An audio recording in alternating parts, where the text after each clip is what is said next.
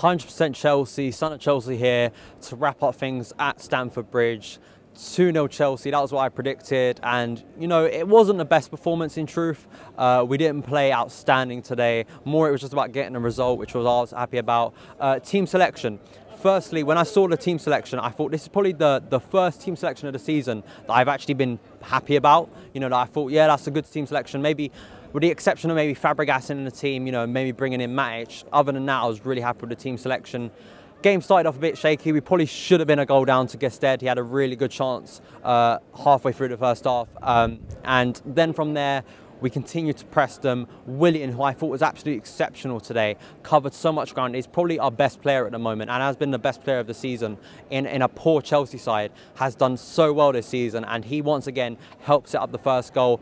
Diego Costa, who scored it, uh, helped out with both goals for me was just back to his best today, looking like the Diego we know and love, holding up the ball, bringing other players into play, uh, not getting, because one thing I saw was the tactics of Aston Villa were to clearly get in Diego Costa's head, and we had a poor referee today, and luckily that Diego Costa, that didn't affect him, he continued to play well.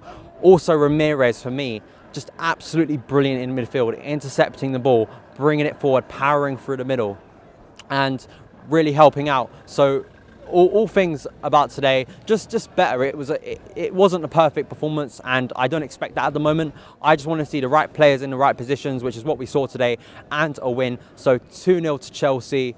Hopefully now this can be the start of the season. But we said that after Arsenal, so we're going to have to wait. I'm not getting carried away. I don't think any of us here are. We want to see that replicated on Tuesday at Kiev and also on Saturday at West Ham. I want to see that performance. I want to see the team selection from Jose replicated and that sort of performance, and hopefully we're picking up wins.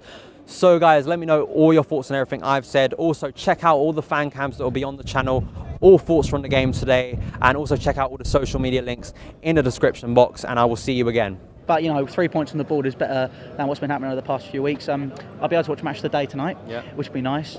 Um, but you know, three points on the board—that's all that's important. I thought um, players.